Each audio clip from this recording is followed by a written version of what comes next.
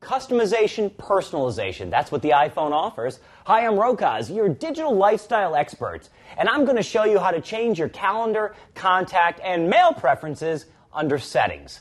It's real easy. We go to our home page here, our desktop, if you will, hit the settings button, the gears inside of it, and then we're going to simply go down to, well, mail, contacts, and calendars. Now, by showing you, I accidentally hit it, so I'm going to go back mail contacts, and calendars. And in here, there is a plethora of choices. Now, we have no mail account set up. If I wanted to set up an account, boom, I would choose my Yahoo Mail. I would simply enter my name, address, and password, and how I want it to appear. So it doesn't have to appear as my long thing. It could just say home email, work email. It could say Bob for all I care, but just something that I can remember.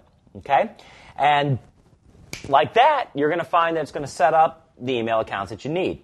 All right, we're going to go back over here to mail, and then we can show. I like to show 200 recent messages.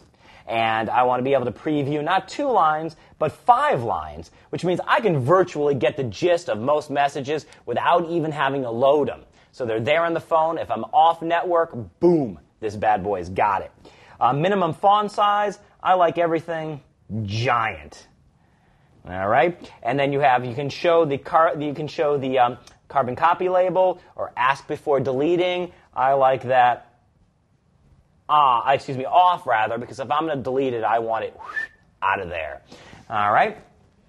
Always blind copy myself. I turn that on. If I'm sending something from here, I, I want to make sure. The signature sent from my iPhone, I personalize that. And then over here, the calendar, uh, new invitation alerts, and time zone support. That's a lot of that is mostly for um, an import uh, SIM contacts. That's if you're moving things from another SIM card. So all you have to do is just go line by line and ask yourself, do I want to do it, turn it on and off, or enter in the information?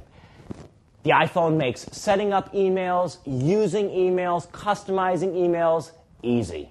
I'm Rokaz, your digital lifestyle expert, saying, string you later. Ooh, I got an email.